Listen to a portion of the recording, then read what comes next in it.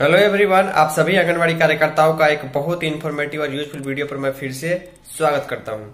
आंगनवाड़ी सेविकाओं के मानदेय या पोषाहार राशि में कटौती के साथ साथ उस केंद्र से जुड़ी महिला पर्यवेक्षिकाओं के मानदेय से एक महीने के 25 प्रतिशत राशि कटौती करने का आदेश पटना ज़िले के डीएम के द्वारा दिया जा चुका है। जी हाँ कुछ चीज़ें होती हैं जिसको आप में गलती नहीं करनी है। अगर यहाँ पर कोई भी मिस्टेक या गलती पकड़ी जाती है तो उसको गंभीर समस्या मानते हुए ऐसी कार्रवाई की जाती है।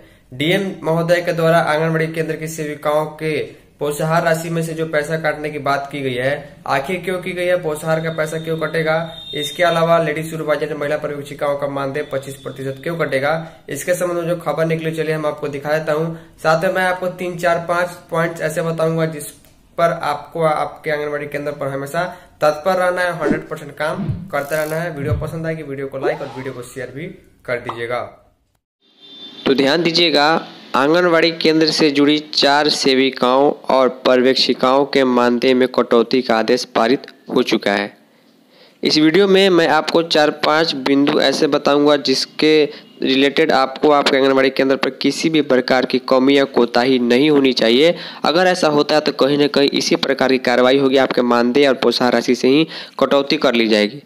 अब आखिर ये कहाँ की खबर आप लोग देख पा रहे बिहार की राजधानी पटना से खबर है और पटना ज़िले के जो डीएम है शीर्षद कपिल, अशोक, इनके द्वारा जो है आंगनवाड़ी केंद्रों के संचालन और पर्यवेक्षण में लापरवाही बरतने वाली आंगनवाड़ी सेविकाओं और उस केंद्र से जुड़ी पर्यवेक्षिकाओं पर कार्रवाई की गई है। टीएचआर पंजी के संधारण में लापरवाही मिली है। केंद्र का विधिवत संचालन नहीं किया जा रहा था। जाँच में पंजीकृत बच्चों के विरुद्ध उपस्थित बच्चों की संख्या कम थी आदि मामलों में छह आंगनबाड़ी सेविकाओं पर कार्रवाई की गई है। देखिए छः छः आंगनबाड़ी सेविकाओं पर यह कार्रवाई की गई है। लिखा गया, इनमें दो सेविकाओं के एक महीने के मानदेय से 25 प्रतिशत की कटौती की गई है। अब डीएम के स्तर का आदेश है तो ये पैसा कटना निश्चित है और इसे कोई बचा नहीं सकता।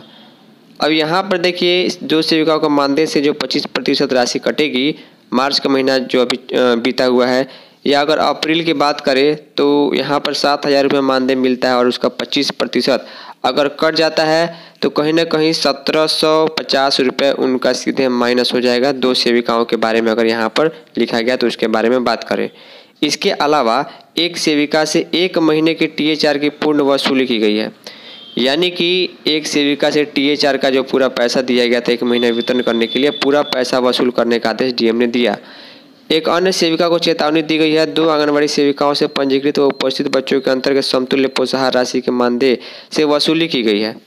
वहीं गुणवत्तापूर्ण निरीक्षण नहीं करने के कारण दो महिला पर्यवेक्षिकाओं को चेतावनी के साथ एक महीने के मानदेय से 25 प्रतिशत राशि की कटौती की गई है।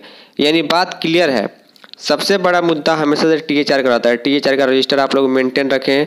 बच्चों की उपस्थिति और खुद की उपस्थिति ड्रेस में बनाए रखें। जिस दिन जो भी पोषाहार मेन्यू के अनुसार बनाना है वही बनाए भले बच्चे खाए या नहीं खाए वो अलग बात है। इसके अलावा जो है केंद्र पर साफ़ सफ़ाई रखें और पोषण ट्रैकर ऐप पर ऑनलाइन काम करता रहे ये चार पाँच बिंदु ऐसे हैं जहाँ पर आप, आप सही तरीके से हमेशा काम करते हैं। किसी प्रकार का निरीक्षण किसी प्रकार के जाँच में कभी कोई दिक्कत नहीं आएगी। यहाँ पर दिक्कत इसलिए आई कि टीएचआर का रजिस्टर जो था वो सही नहीं था, उसमें लापरवाही मालूम चली है। इसके अलावा जो बच्चे रजिस्टर्ड थे और जो बच्चे केंद्र में उपस्थित थे, उसमें संख्या में काफ़ी कमी पाई गई है। इसीलिए कहीं मानदेय काटा गया है तो कहीं पोषाहार की पूरा पैसा वसूल लिया गया और साथ में पर भी कार्रवाई की गई है। तो ये चीज़ें हैं, आप देख पा रहे हैं किस प्रकार फ़िलहाल कार्रवाई चल रही है। अपना काम सही तरीके से करें, कहीं कोई दिक्कत नहीं आएगी। फाइनली इस वीडियो में इतना ही। धन्यवाद।